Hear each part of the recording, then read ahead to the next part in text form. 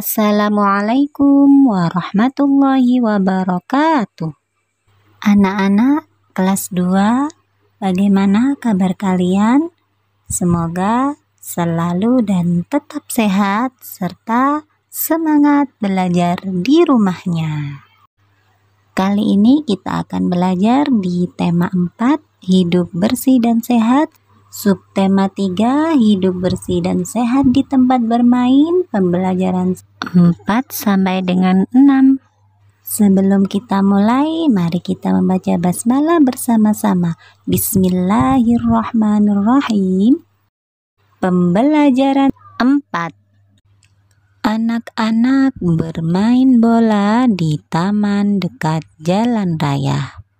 Ketika mereka bermain, banyak kendaraan lalu lalang. Kendaraan mengeluarkan asap dari knalpot.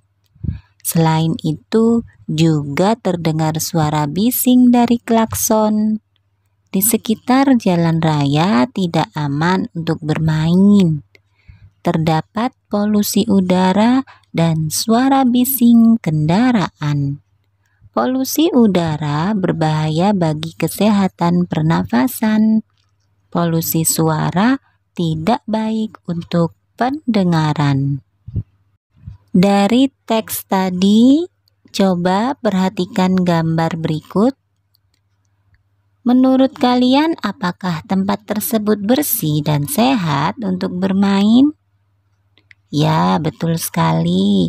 Tentu lingkungan atau atau tempat yang seperti di lapangan bola tersebut karena ada kendaraan yang lalu lalang kemudian juga ada polusi udara sehingga lingkungan tersebut tidak aman dan sehat untuk bermain.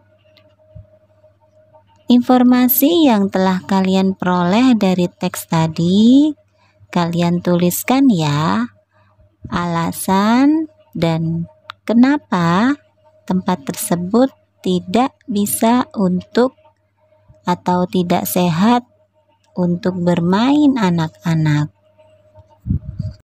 Apakah kalian tahu apa benda pada gambar ini? Pinter. Coba. Benda ini terbuat dari plastisin. Kalian tahu plastisin ya? Ya, plastisin itu sama dengan Play-Doh atau malam ya. Bus pada gambar terbuat dari plastisin. Plastisin termasuk bahan lunak. Plastisin bersifat lunak dan mudah dibentuk. Warnanya juga beragam. Ayo membuat kreasi dari plastisin. Siapkan plastisin dan tusuk gigi ya. Buatlah bentuk yang kamu sukai. Ikutilah langkah-langkah berikut ini. Berikut ini langkah-langkah membuat bus dari plastisin. Perhatikan baik-baik ya. Yang pertama, bentuklah plastisin menyerupai balok untuk badan bus. Kemudian yang kedua, buatlah plastisin berbentuk lingkaran untuk ban. Yang ketiga, gunakan tusuk gigi untuk membuat jendela dari hiasan lainnya. Kemudian yang keempat, Sempurnakan bus dengan menambah spion, lampu depan, dan belakang. Kalian boleh membuat sesuai dengan keinginan kalian, tidak harus bus. Ya, langkah-langkahnya kalian buat sendiri. Bus yang sudah jadi atau sudah kita buat tadi bagus ya Coba perhatikan kembali gambar bus dari plastisin berikut ini. Badan bus hampir menyerupai balok ya. Balok adalah salah satu bentuk bangun ruang. Coba sebutkan benda-benda lainnya yang berbentuk balok. Kamu sudah mengetahui ruas garis pada bangun ruang? Ruas garis tersebut dinamakan rusuk. Selain rusuk, pada bangun ruang terdapat sisi dan titik sudut. Perhatikan gambar berikut ini. Gambar berikut ini merupakan bentuk bangun ruang, kubus, dan balok. Keduanya sama-sama memiliki sisi, rusuk, dan titik sudut. Hanya bedanya sisi-sisi pada kubus sama, sedangkan pada balok sisi-sisinya ada panjang, ada lebar. Kubus mempunyai 12 rusuk. Sisi-sisi kubus ada enam, yaitu sisi depan, belakang, kanan, kiri, atas, dan bawah. Titik sudut kubus ada delapan, yaitu empat di atas dan empat di bawah. Coba tentukan banyak rusuk sisi dan sudut balok. Bandingkan dengan kubus ya. Coba perhatikan soal-soal berikut. Dari ketiga benda ini, manakah karya yang terbuat dari bahan lunak? Patung kayu? Bukan ya. Boneka plastisin terbuat dari plastisin? Ya, betul, dari bahan lunak. Kemudian teko dan gelas dari tanah liat? Ya, betul sekali. Jadi, teko dan gelas dari tanah liat juga termasuk terbuat dari bahan lunak. Ya, jadi dari ketiga bahan karya tersebut yang merupakan karya yang terbuat dari bahan lunak yaitu boneka dan teko serta gelas ya. Jadi patung kayu tidak usah dicentang.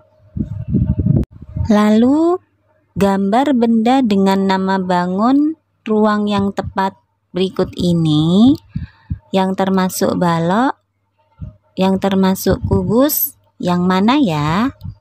Nah, ditarik garis. Yang termasuk kubus, ingat sisi-sisinya sama. Jadi yang masuk kubus adalah Ya, pinter sekali. Permainan yang berwarna biru, kuning, merah ini dan kerdus itu masuk di kubus. Kemudian lemarinya masuk di balok. Pinter sekali. Untuk soal nomor tiga ini, tentukan banyak sisinya, ada berapa rusuk dan titik sudutnya ada berapa juga. Jadi kalian tuliskan A terdiri dari banyak sisi, rusuk dan titik sudut berapa. Begitu juga dengan bangun ruang B, C, dan D. Pembelajaran 5 Berikut ini adalah percakapan antara Nina dan Adi Nina dan Adi ingin bermain di teras depan. Sebelum bermain, Nina mengajak Adi membersihkan teras terlebih dahulu. Perhatikan baik-baik ya percakapan Nina dan Adi berikut ini. Nina Ayo kita bersihkan teras dari debu agar bersih dan nyaman. Kita harus menjaga kesehatan ketika bermain ya di Adi. Adi ambil sapu dan tikar dari dalam ya kak. Nina. Kakak menyapu dan mengepel mengepel lantai.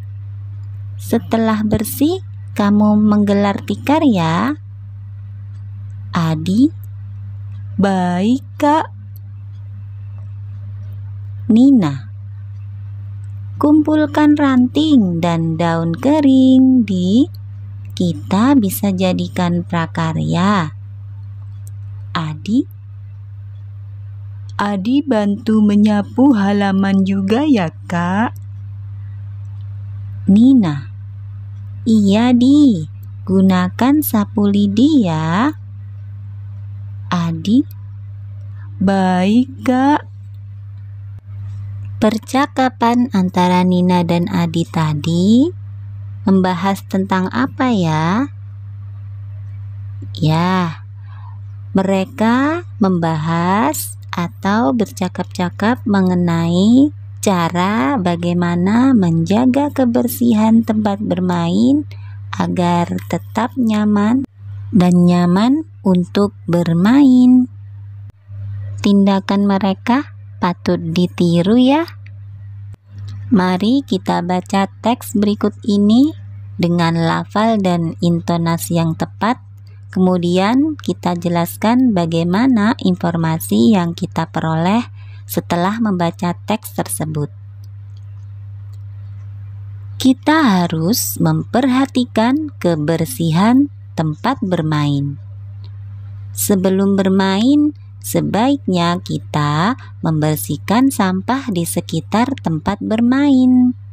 Misalnya, sampah daun, debu, dan kotoran hewan. Kotoran hewan dapat membawa bibit penyakit. Selain kebersihan, kita juga perlu memperhatikan keselamatan di tempat bermain. Benda-benda yang dapat membahayakan perlu disingkirkan, misalnya potongan kaca dan kayu. Jika terinjak, kakimu akan terluka. Oleh sebab itu, pastikan tempat bermainmu aman. Kesehatan dan keselamatan bermain harus selalu diperhatikan. Informasi apa saja ya yang kita peroleh dari teks tadi? Kalian tuliskan hasil pengamatan kalian dalam sebuah laporan sederhana di buku tulis kalian. Tulis dengan tegak bersambung ya. Pada sore hari, beberapa teman Nina datang. Mereka bermain mengoper bola. Waktu bermain oper bola, Nina dan teman-teman bekerja sama dengan baik. Kerjasama yang baik sangat penting. Kerjasama dapat mewujudkan persatuan.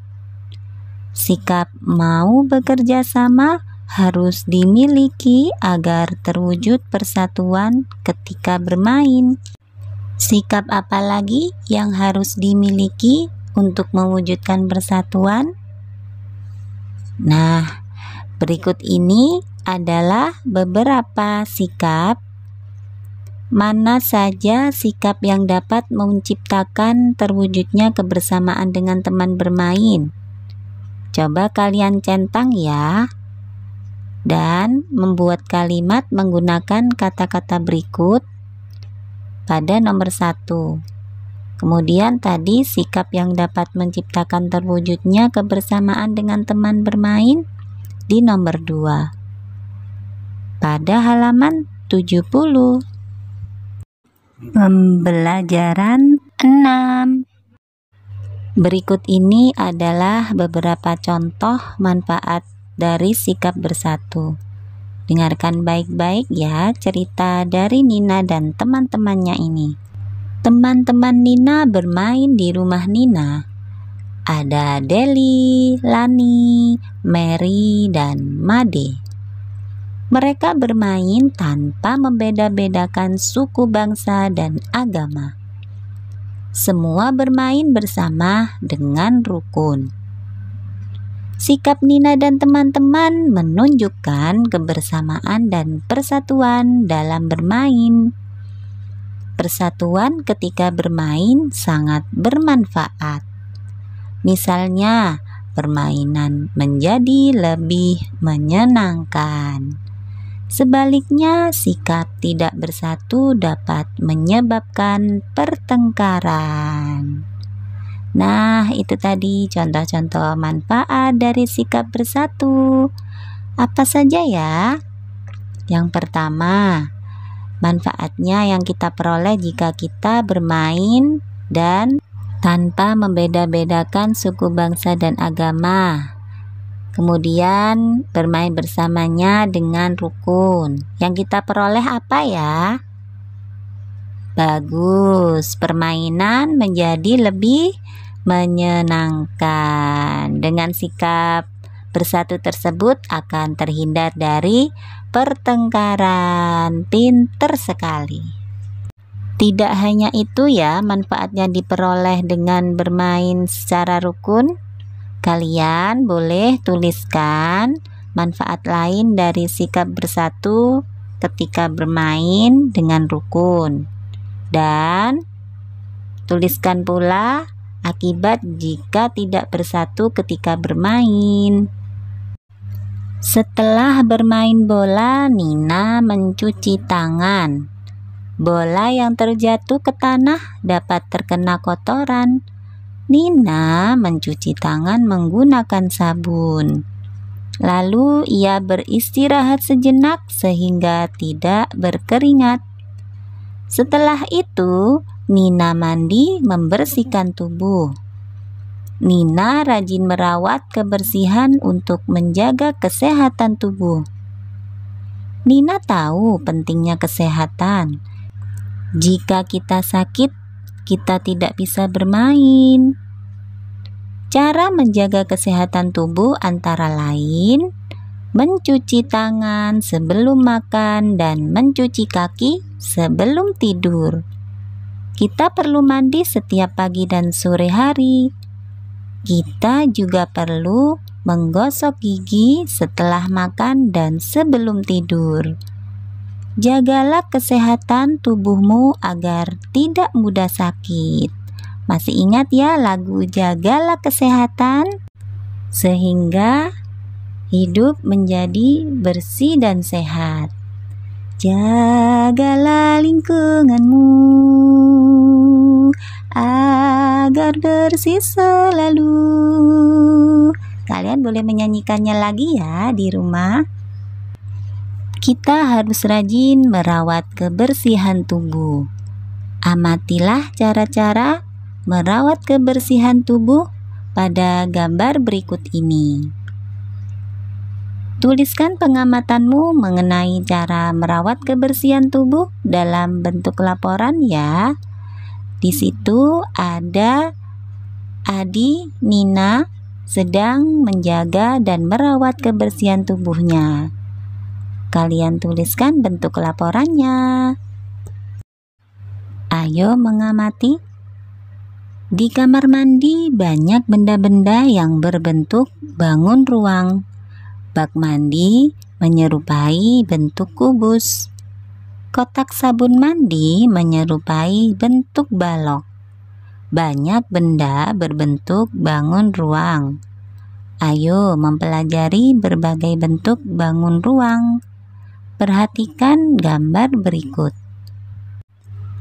Bangun-bangun ruang berikut ini memiliki sisi tegak, sisi atas, sisi alas, rusuk, dan titik sudut.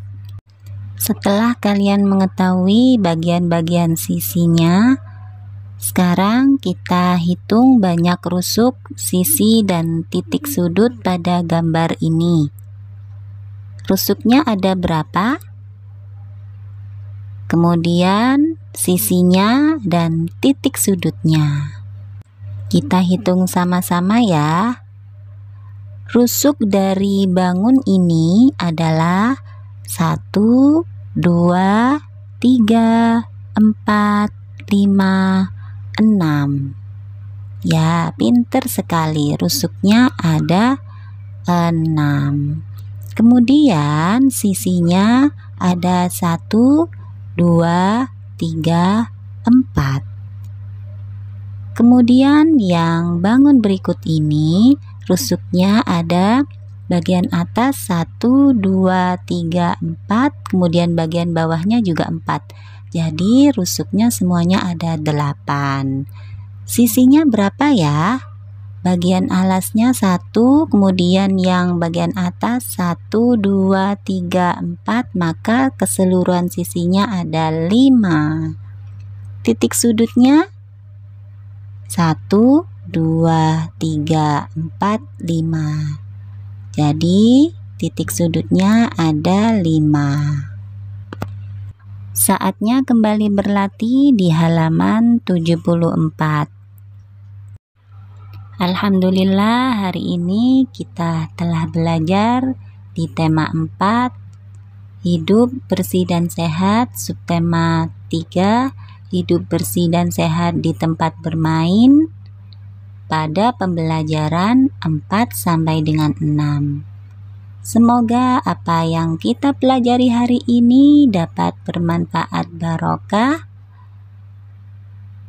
Ibu akhiri Ihdinas siratal mustaqim wallahul muwafiq ila aqwamit thariq.